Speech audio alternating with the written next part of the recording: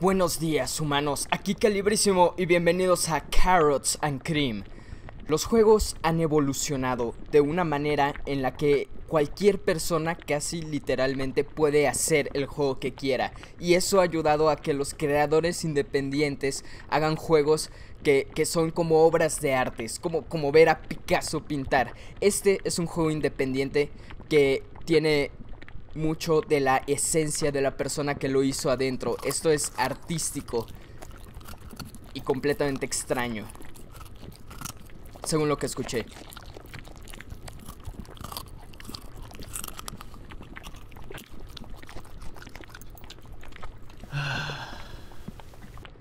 Ok. Eh, según lo que escuché, según lo que leí más bien, este juego es completamente extraño y... y... Oh. Ok. Parece que estoy sacando zanahorias. Ah... ok. Ah, ok. Tenía que picarle. Ok. Esto no está tan mal. Bien, justo en el blanco. Ok. Siguiente. ¿A alguien le gustan las zanahorias mucho? Ah, damn it. Ok, eso fue suficientemente bueno. Digo, a mí me gustan las zanahorias, pero no sé, no, no demasiado. Ok, continuemos. ¿Qué, ¿Qué, es eso que se escucha? Pueden oír como, como un... Como un líquido espeso fluyendo en el fondo, como un... Oh, esto es tan raro. Posiblemente a las personas a las que les gusta mucho ese tipo de sonidos, porque hay una condición, creo, o bueno, una cosa en la que hay gente a la que le gusta mucho ese tipo de sonidos. O sea, escúchenlo nada más. Eh, es raro, pero... eh, ok, ahora vamos a rayar nuestra zanahoria en nuestra crema. Es que e, esto es como muy creepy porque por cómo está, por cómo se ve, por cómo está temblando, pero en realidad no está pasando nada raro. ¿Saben? Es solamente estamos recolectando zanahorias y ahora las estamos rayando en nuestra crema o algo.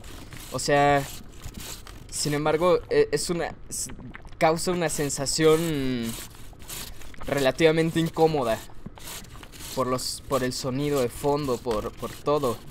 Este juego es, raro. ¡Listo! Ok, ¿ahora qué? Oh. Hola, pequeña oruga. Ah, ¿yo te controlo? Ah, ok, ok, ok. ¡Ah! Ok. Parece que tengo que hacer esto rápido entonces. Ok. Ok. Un paso a la vez. ¡Ah! Corre, corre, pequeña lombriz. No, las zanahorias. Alguien va a estar enojado. Tal vez. Ok, como, como en cualquier otra obra de arte, este juego tiene su propia interpretación. O sea, la interpretación es completamente subjetiva. Eh, tanto el que lo está jugando como el que lo está viendo puede interpretar lo que el autor del juego o lo que el creador del juego quiso representar con este juego, su lo que él sentía eh, mientras lo creaba. De hecho, hay un juego muy bueno que quiero jugar que se llama La Guía del Principiante, que tengo muchas ganas de jugarlo, que es del mismo creador de The Stanley Parable, que habla sobre eso. Ok, Wow, esa era una zanahoria gigante. ¿Qué, qué rayos? Aquí hay un agujerito. ¿El gusano está dentro de la zanahoria gigante? Nah, ¿sí?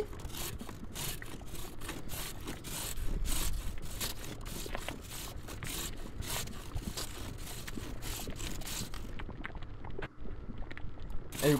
Si el gusano está dentro de... Oh, sí, ahí está. Gusanito, ¿no hay nada que pueda hacer para salvarlo? ¿Qué rayos? ¿Por qué está gritando? ¿Por qué hay tanta sangre? What?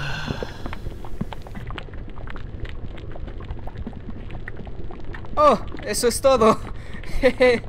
ah, qué rayos acabo de jugar. Ok, tengo mis ideas y mis pensamientos sobre lo que el autor de este juego quiso representar, pero como les digo, es algo completamente subjetivo. Lo que yo entiendo del juego no tiene que ser lo mismo que tú entiendas, pero eh, de nuevo, es como una obra de arte. Diría lo que yo entendí del juego, o, lo, que, lo que yo saco de esta experiencia, pero quiero que tú en los comentarios me digas qué es lo que entiendes de este juego, qué es lo que crees que el autor quiso representar.